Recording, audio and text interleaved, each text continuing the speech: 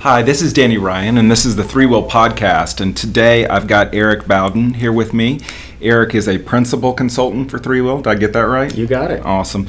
Uh, thank you for taking the time to do this, Eric. And I know we are going to talk about a um, an important subject here today, which is uh, how do you do responsive when it comes to SharePoint? And uh, look forward to, to learning more about how this actually, how you actually make this happen. Um, let's just get this kicked off with sort of how, what do we know to get, uh, what do we need to know to get started with this? Um, I, I, think to get started with responsive design in SharePoint, um, you know, my recommendation is really to start with the requirements. So, you know, some folks may decide that, okay, I want the entire SharePoint experience to be responsive. Uh, may decide that, okay, there are only certain pages that I want to be you know able to render on a mobile device because you know there are only certain you know things that your mobile user are going to want to do. For example, they're not going to commonly you know upload content into mm-hmm. SharePoint from their phone.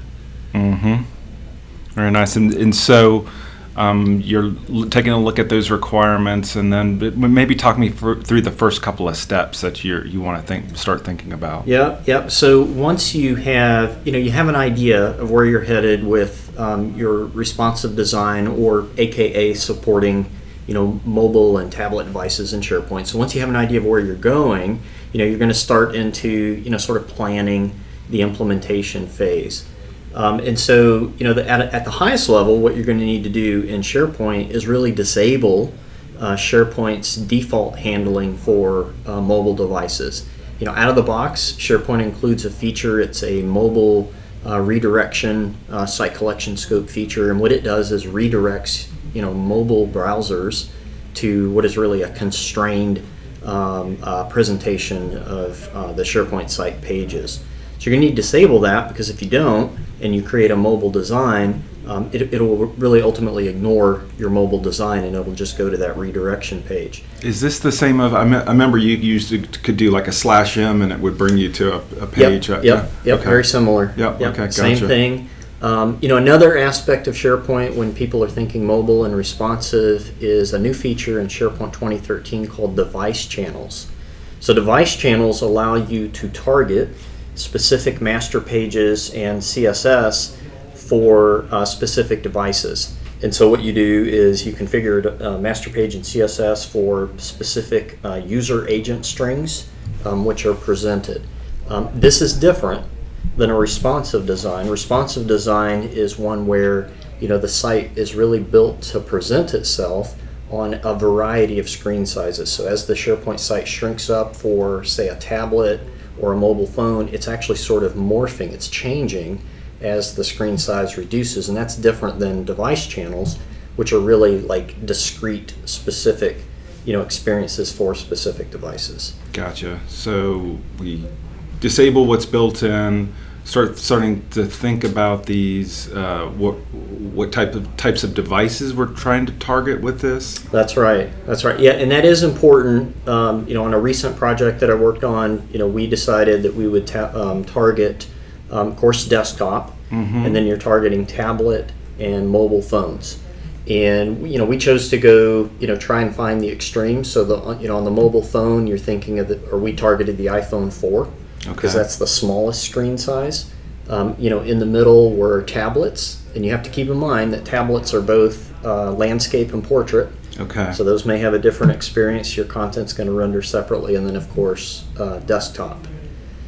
Gotcha. So talk me through um, once you've disabled it and you're starting to to make some changes. What are some of the technologies involved with this? Any any further steps we need to make to get ready for this? Yep. Yeah. So it's good at this point to think about or to be aware um, of what is going to be changed in your SharePoint environment. So what are, what are the scope of app dev uh, changes that I'm going to make in the SharePoint environment to support um, responsive design? And those are um, not entirely limited to, but include you know master page updates.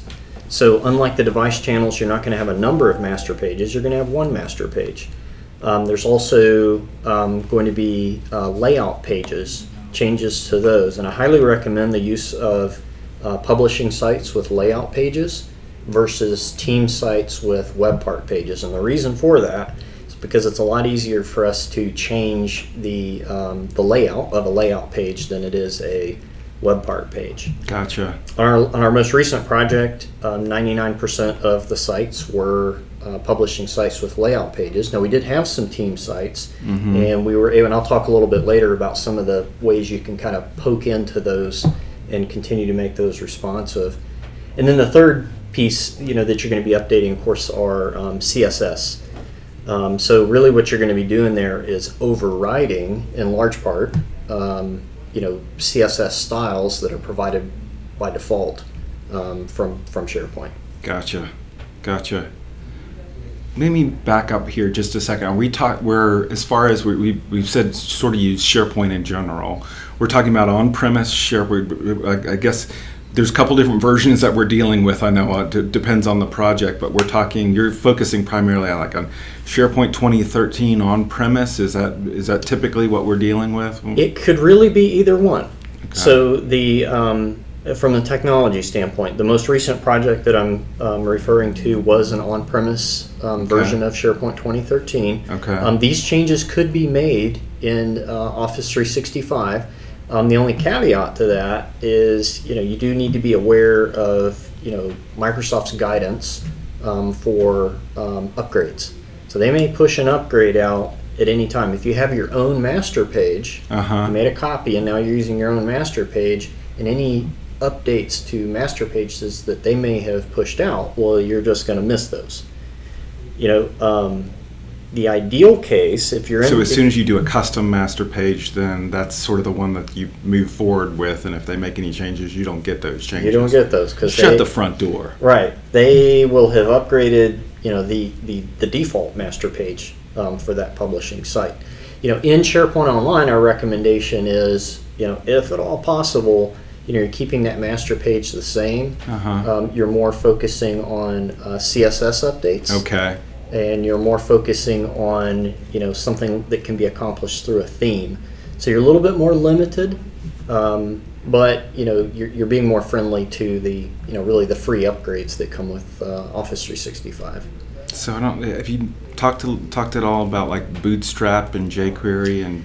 Yep, yeah, yeah. Bootstrap. So you know, I'm going to bring down- those up like I know what I'm talking about. That was too, good. so that go was ahead. good. It sounds like you do. Yes. Um, you know, when we talk responsive and mobile, um, Bootstrap is usually the first thing that um, that come to mind.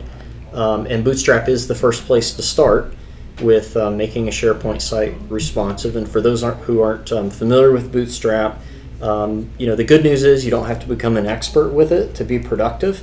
Um, you know, there are many simple features that are provided in Bootstrap, and the simplest is is kind of describing that um, you know Bootstrap is designed to provide a 12 column layout for your site. So imagine that um, you're looking at a desktop uh, presentation of your site, and imagine dividing it up into 12 columns. And you can combine those columns together. So, for example, you could have uh, four columns which are you know really uh, three columns wide each.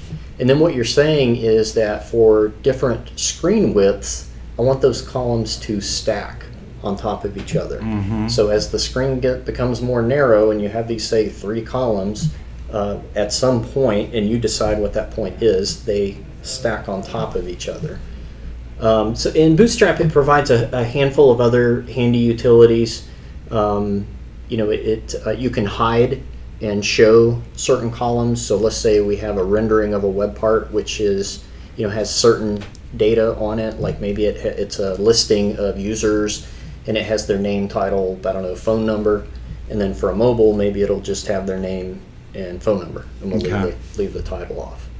So um, that's kind of the simple um, of Bootstrap, and that's really the the best place to start. And what you're going to be doing there is, you know, open your master page, add a reference to Bootstrap, and then you're going to start decorating uh, HTML elements that are in your master page with Bootstrap classes.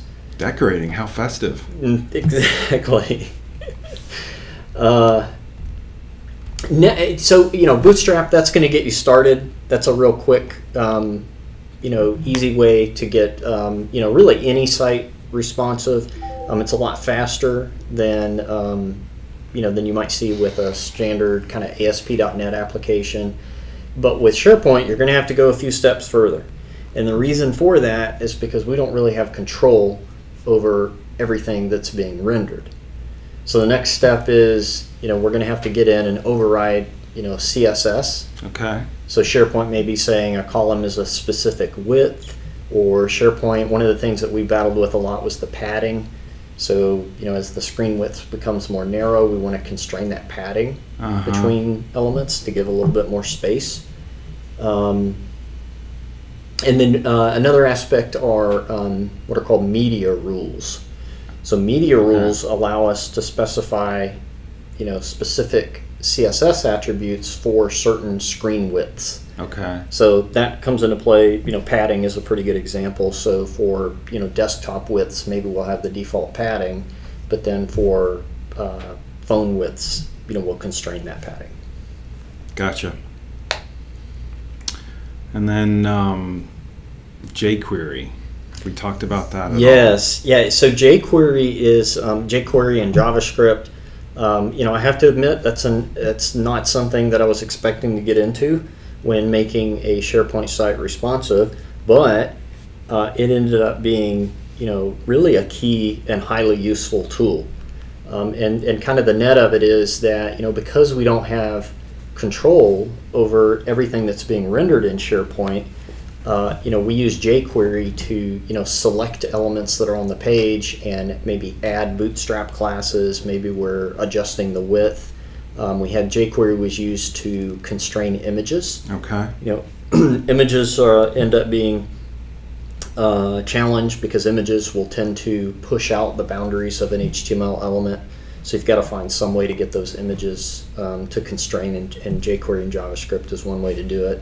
Uh, we had an interesting, one interesting application of um, jQuery and JavaScript was, uh, you know, with this particular site design, we decided you're familiar with the quick launch Mm-hmm. in SharePoint. That's on the left-hand side of the page normally. Well, for our mobile design, we decided to do two things. Take that quick launch, and instead of on the left-hand side of the screen, we put it to the top. Okay. And then the second thing we decided was that anything that was in the quick launch except for subsites would be removed. So what we're doing there is we're allowing users who are on a mobile device, we're saying, well, let's not clutter them up with lists and libraries. We'll just let them navigate from from site to site. And they can see the home page and uh, dashboard style information that's on each home page. And that was accomplished with jQuery because we need some, you know, that JavaScript logic to figure out, okay, here's this link. Well, what is it? Is this a subsite or is it a list or a library? So. My goodness, it sounds like I mean this this sounds like there's things in SharePoint that you're sort of having to to a little bit fight. I'll call it fight against and make make sort of change around. Um, and then there's a couple of technologies. That are, were there like um, is there were there um, certain tools that you were using, like browser tools to go inspect sort of what who had control and those types of things? That ex- I know I deal with it on our public site is is trying to figure out who's setting what and and Yep. digging into that. So are there certain tools that you end up using when you're doing responsive design with SharePoint? Yeah, absolutely. Uh, so Chrome, uh, the Chrome um, developer tools is a great place to start. Uh-huh. Um, you know, all of the browsers have developer tools, but um, Chrome is the best one to start with because it has the ability to render um, for uh, mobile devices. So you can actually, there's a little icon there. Um, you click and it kind of goes into a mobile view, and then you can actually select from uh, maybe a dozen um, different devices. The iPhone is one of them. Does it just change the user agent? Is that what it's doing? it does. It changes the user agent, and Okay. it also changes, of course, the screen size. Okay. You know, to Yeah. be the appropriate screen size. Um, we found, I would say, you know, maybe ninety percent of issues on uh, mobile devices we found uh, through testing with the um, Chrome uh, developer tools, Mm-hmm. but um, you know, highly recommend that, that, that, that folks are sure to have, you know, a sampling of the actual devices, um, preferably across um, the three, you know, major OSs, you know, iPhone, Android, and uh, Windows Phone. Um, you know, for us, uh, you know, iPhone was the friendliest. We had the fewest issues on that one, or at least the fewest issues that were not discovered, you know, through the Chrome developer tools. Um, Android ended up being the second friendliest, and then we really, uh, funny enough, we had the most issues on Windows Phone. Mm. So, and you have some issues like like one of the basics and, and fairly easy ones is that um, you know on a desktop experience you're used to the hover. Yeah. Well, there's no hover, you know, on your mobile devices. So you know you have to sort of change those to be click. And Okay. So they, they actually touch those things instead of uh, uh, you know uh, hovering over them. Was for the testing. It seems like that you want to dedicate some good time towards testing, and, and did did we have somebody come in in particular to did like Brandon come in and help out with the testing for this? And- Yes, yeah, Okay. yeah. So Brandon um, was a was a key part. Um, you know, definitely uh, in in the testing effort, um, and we had him configured with a um, you know his own local, of course, SharePoint um, 2013 environment, um, and he had uh, you know testing across those devices. We had um, you know iPads and the Galaxy uh, tablets and so forth. So um, uh, yeah, probably can't say enough good things about the testing effort there, and really being sure to, um, you know, you, you, you, you, you, can't really make assumptions on it, Yeah. um, or you can't make too many assumptions. We'll put it that way. Interesting. Anything to wrap this up at all? Anything more you want to add? Besides, if you're doing something crazy like doing responsive with SharePoint, you should contact us, right? absolutely, absolutely. Yeah, we so we've been through it a few times, um, you know, and can definitely save you some time. You know, I think one thing that I'll add is, um, you know, on this most recent project, um, you know, having good an- site analytics and site usage data, um, you know, was was really important, and it was really important for two reasons. Um, one is, you know, constraining the scope of the project, so we can find out, you know, what are people really using Yeah. if nobody goes to a particular page, let's not um, put the work into making it uh, uh, mobile enabled. Now, what might end up happening is, and largely it does, through your work, the site may end up being mobile enabled because Mhm. it just is by default to the other work that you're doing. And of course, you know, lucky you, it works. But if nobody's going to that site, you know, kind of recognize that and don't put the effort into testing it and, uh, you know, app dev on a site that nobody's visiting.